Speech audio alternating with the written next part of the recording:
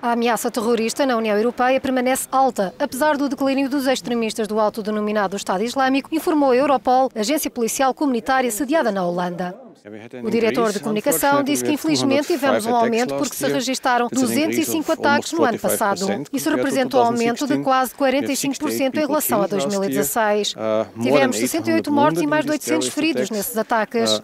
Existe uma séria ameaça terrorista.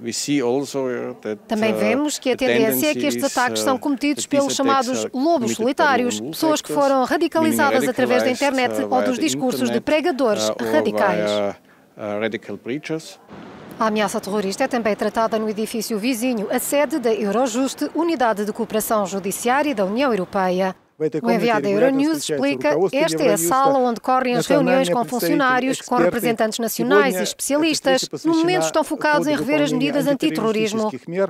Cabe-lhes emitir os mandados de detenção transfronteiriços que sejam pedidos pelas autoridades dos Estados-membros. Foi isso que fez o governo francês quando dos ataques terroristas em novembro de 2015 em Paris. O presidente da equipa francesa de luta antiterrorismo afirmou que há Estados-membros da União Europeia, mas também países terceiros que têm tido preocupações com este tipo de ataques. A única agência, o único mecanismo de cooperação judiciária que podia assegurar esta cooperação nível europeu, num quadro multilateral, era a Eurojust.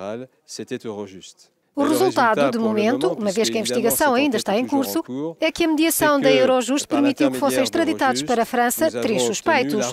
Dois deles foram detidos na Áustria e um terceiro na Alemanha. A troca de informação judiciária multilateral tem ajudado a França a redesenhar a sua política nesta matéria.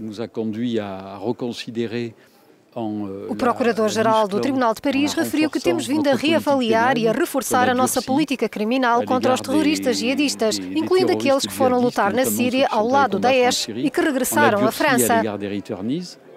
Isso inclui as mulheres no lote de suspeitos que são sistematicamente levados perante os tribunais criminais.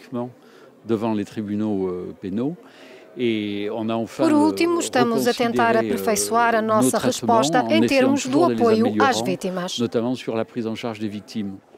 O Parlamento Europeu e os governos dos Estados-membros chegaram a acordo quarta-feira sobre a necessidade de investir mais nesta unidade. Uh, o presidente da uh, Eurojust uh, disse os dados de investigações criminais nacionais que nos são remetidos estão em segurança na Eurojust.